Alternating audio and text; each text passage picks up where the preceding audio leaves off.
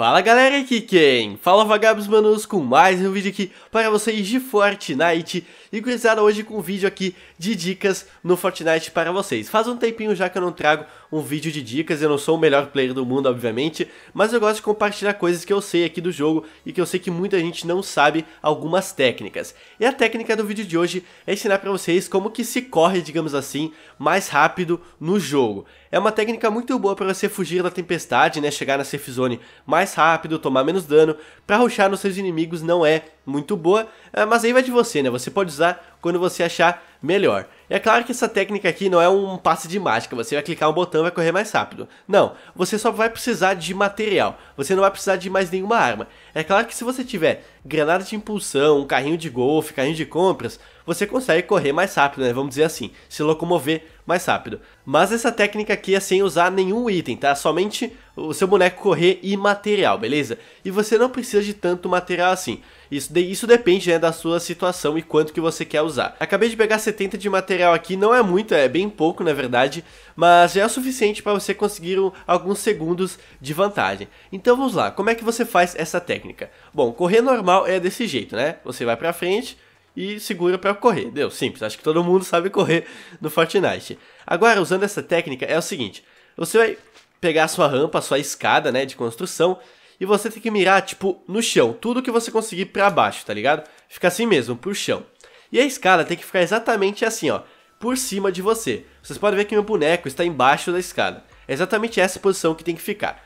Quando você construir, você tem que pular Aí quando você pular, você vai dar de cabeça aqui, tipo, em cima da escada, você vai ganhar um impulso pra frente. Assim você realmente vai mais rápido. Olha só, vou demonstrar aqui pra vocês. Ó, pulei. Vocês podem ver, ó, que eu ganhei alguns, algum tempinho, ó. Vocês viram que meu boneco, ele, ele ganha uma velocidade? Então, pode ser imperceptível assim, jogando, mas vocês podem ver depois eu fazer uma comparação uh, de corrida normal no jogo, né? Correr sem fazer essa técnica e usando essa técnica aqui. Bom, eu acabei de limpar toda a rua, tirei tudo que tem nela para mostrar para vocês a comparação de correr normal e correr fazendo essa técnica, né, que você ganha um impulso ao construir uma escada.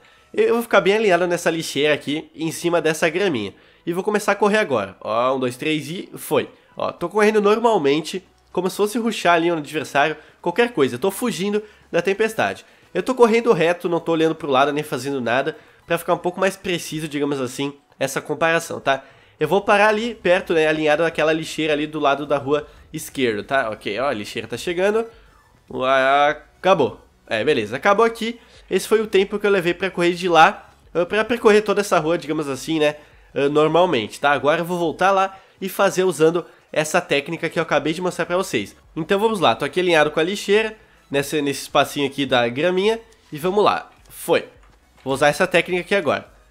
Óbvio que eu, uh, jogando e fazendo ela, eu posso não notar tanto, né? Que realmente faz uma boa diferença. Você ganha alguns segundos a mais. Vocês podem ver que dependendo aonde eu bato, tipo na escada, eu ganho mais impulso, às vezes não. Ó, acabou já. Já até passei do, do ponto. Então eu vou colocar agora na tela, vou colocar na edição, né? A comparação uh, da corrida normal e da corrida usando essa técnica. Eu tenho certeza que teve alguns segundos de diferença. Segundos pode não ser grande coisa para a maioria das pessoas. Claro que para você ruxar no inimigo, essa técnica aqui não é tão útil. Mas para você fugir da tempestade, realmente alguns segundos fazem bastante diferença. Principalmente se a tempestade está no final já da partida, né? Causando bastante dano aí uh, na sua vida.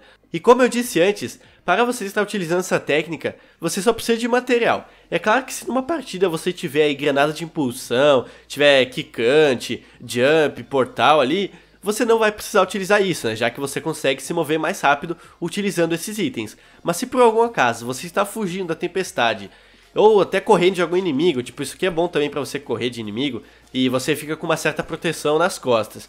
Uh, e você quer utilizar essa técnica, você só precisa de material, nada mais. Aí depende, se você tem pouco material ou muito, você pode usar o quanto você quiser. E o que você precisa fazer, como eu falei, não é nada difícil, você não precisa ser um cara mais habilidoso do jogo para estar colocando isso em prática, tanto é que eu consigo fazer isso.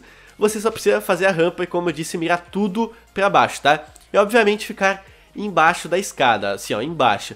Se você construir e ficar em cima da escada, não vai ter como, ó, seu boneco fica em cima e você não ganha impulso. Tem que construir, ficar embaixo, pular, que você, tipo, bate de cabeça aqui e ganha um impulso pra frente, ok? Eu estou aqui nessa montanha para mostrar para vocês que não é todo lugar do mapa que essa técnica funciona 100%, vamos dizer assim. Porque tem certos locais, em Torres Tortas eu fiz, porque é tudo retinho, né? Tudo plano. Só que tem certos locais do mapa, por exemplo aqui, ó.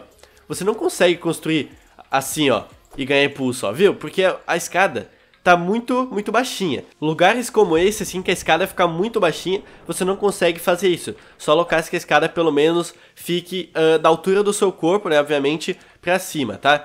Tipo aqui assim, ó, aqui, aqui ficou uma altura boa, praticamente a altura do meu corpo, mas dá sim pra colocar essa prática, ó, mira no chão, como eu falei, é sempre mirando tudo aqui pra trás no chão, passa aqui, pula, ó, vocês viram o impulso que eu ganhei? Porque eu bati de cabeça bem aqui na pontinha. Se eu errar o time, tipo, Ó, aqui não dá, porque o meu boneco é mais alto. Ó, se eu construir, ele vai ficar em cima ou vai atravessar, né? Porque isso aqui é o Fortnite e não vai funcionar, tá? Então é isso, galera. Espero que vocês tenham gostado. É claro que essa técnica aqui não vai ser tão útil assim, dependendo da situação e de sua partida, mas eu gosto de compartilhar coisas que eu sei do jogo. Eu sei que muita gente não sabia dessa técnica e vai saber, né? Eu já usei essa técnica aqui em algumas partidas, realmente para fugir da tempestade. E se eu salvar alguém aí que tá fugindo da tempestade em uma partida, eu já vou ficar feliz, tá? Então não critiquem, ah, isso aqui vai ser inútil e tal. Pode ser inútil para muita gente, mas eu sei que, dependendo da sua criatividade, você pode usar essa técnica não só para fugir da tempestade, como também para fazer outras coisas. Eu só quero compartilhar aqui com vocês umas paradas novas aqui, né? Uh, coisas aí que eu acho bacana o pessoal saber também. Então é isso, galera. Se você gostou do vídeo, deixa seu like porque não custa nada e me ajuda muito. E mande para seu amigo também que não conhece essa técnica aqui, para de ficar sabendo pelo menos como que se ganha uma certa velocidade a mais sem estar usando nenhum tipo de item, beleza? Então é isso, galera. Aquele abraço, se vemos no próximo vídeo. Valeu, falou e eu fui!